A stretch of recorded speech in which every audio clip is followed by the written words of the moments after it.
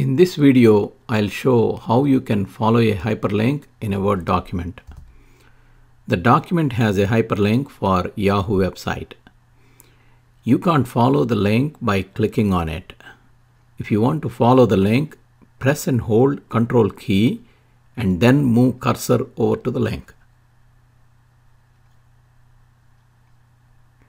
You can see the cursor change to hand symbol. If you click now, Word opens Yahoo website.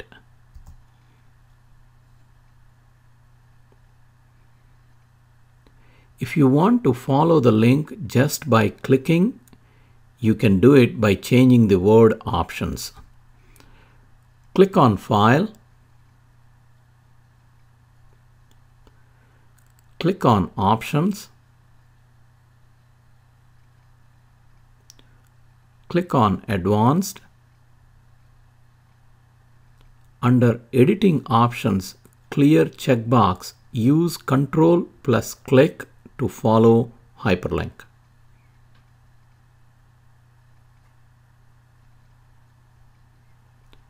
Click OK to save the setting.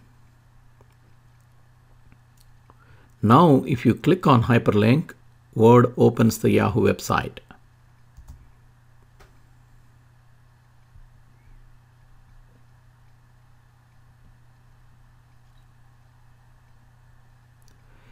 The only drawback with this is if you want to edit the text in hyperlink, you can't do it by clicking on it.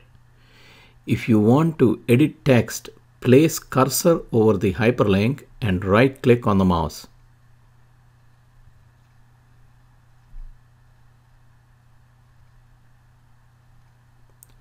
Click on Edit Hyperlink, which will open Edit Hyperlink dialog box.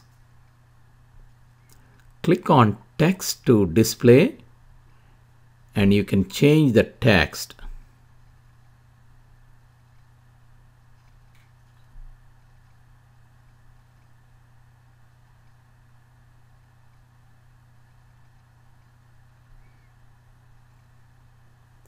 Click OK to save the text. Now you can see the text change to hotmail.com.